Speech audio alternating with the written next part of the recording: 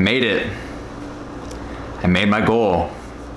Video every day for the month of May.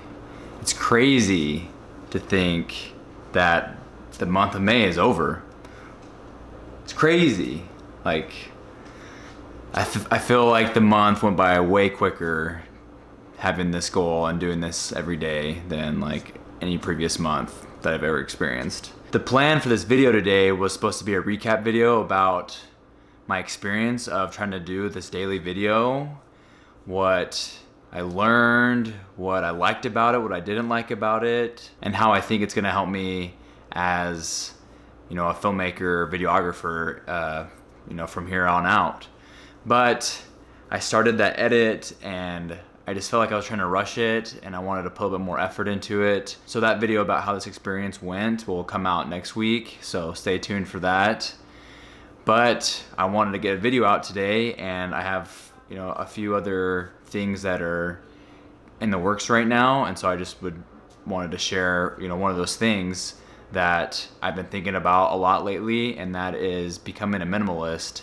I have thought about it for a while. Um, I watched the documentary Minimalism on Netflix. If you haven't seen it, check it out. Uh, like earlier this year, and I think I even started it last summer, and it just seemed pretty cool. And I just have realized that I have a lot of stuff in my house that I really don't need. So what's really helped me to make this change is listening to the podcast that is from the director of minimalism. His name is Matt D'Avella. I mentioned him in an earlier video, but anyways, just listening to his podcast, like just like that lifestyle like just simplicity and not having a bunch of clutter is something that I'm looking forward to. I've tried to streamline my wardrobe, and so right now I'm trying to sell a whole bunch of stuff. And so let me show you around my apartment real quick and kind of just show you some of the things that I'm trying to get rid of. So let's take a look. As you can tell right here is a bunch of clothes that I'm trying to sell. Some of my clothes and some of my wife's clothes. These are a bunch of boxes that we're using to sell these clothes, but also a bunch of these shoes. Sorry about the lighting, but I'm selling some of these shoes right now. Like I said, I'm trying to streamline my wardrobe. And so something I've been doing for a couple months now, and you guys might think it's nasty, but I just think it's awesome, is I have two pairs of joggers and I wear them when I work out in the morning.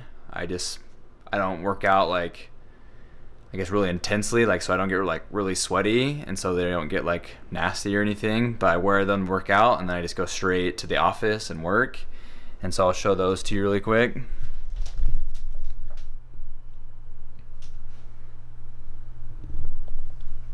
Here's my wife.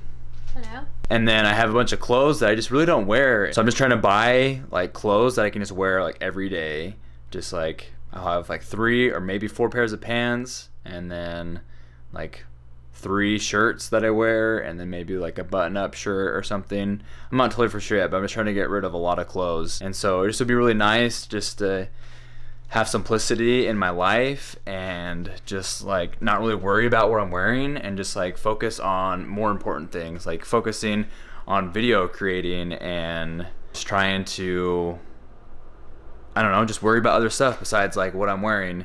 Um, so like today I, I uh, got some pants and I probably buy just one more. So I have my like four pants that I need.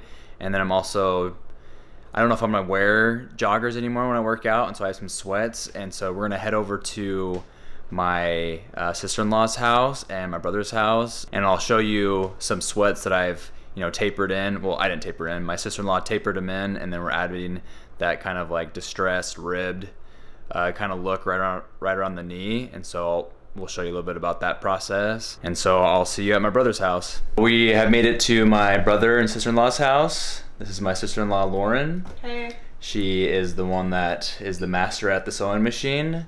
And so she has done um, this job on my sweatpants has tapered them in and then has also added this little rib section. I'll show you real quick what the finished knee looks like and then the knee that we're about to do so you can see the starting point so we'll do a little before and after. We watched a tutorial for this and turns out the guy who was doing the tutorial did it smarter than I did. So what he did was he cut this open so that he could sew across, um, which makes it a lot easier because it, I didn't do that. And so what I have to do is go put this all the way around my machine and it's pretty tight so it's kind of difficult but it works so it's fine. So what you need is just a basic sewing machine. Um, it's just a regular stitch so you don't need any fancy stitches. It's just a straight stitch but the catch is you're using a double needle. So this is a double needle. I'm using a Singer machine um, and it's just a regular presser foot. So nothing too fancy, but here we go.